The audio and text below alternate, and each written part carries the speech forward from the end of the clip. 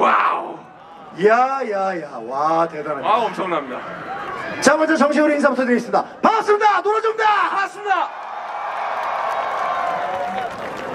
2019 JTBC 서울 마라톤. 아 정말 이 멋진 축제 어, 저희를 초대해 주신 것만으로도 너무나 감사하고 어, 가문의 영광이라고 저는 생각을 합니다. 네.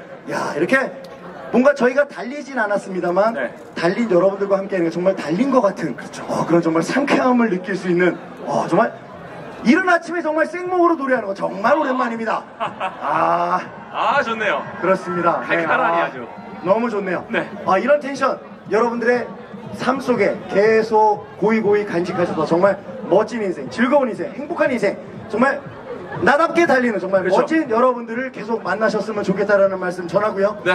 자, 그러면 한 곡 더 신나게 한번 불러보도록 하겠습니다. 자, 놀아주면 가장 먼저 생각나는 노래가 어떤 노래일까요? 어떤 노래라고요? 그렇습니다. 슈퍼맨. 자, 중간에 달리는 부분 있고 살리는 부분이 있는데 같이 할 수 있죠? 여의도가 떠나가라 같이 할 수 있죠? 자, 오늘의, 오늘까지 또 앞으로 계속 여러분들의 인생을 위해 달려나갈 또 그리고 여러분들의 인생을 계속 살려나갈 멋진 여러분들을 응원하는 나 자신의 응원가라고 생각하고 함께 같이 신나게 한번 불러보도록 하겠습니다. 마라톤을 사랑하시는 이 모든 가족 여러분들의 인생이 한국을 넘어 세계 넘어 우주에서 가장 행복하고 아름답고 건강해지기를 바라는 마음으로 함께 불러봅니다. 슈퍼맨!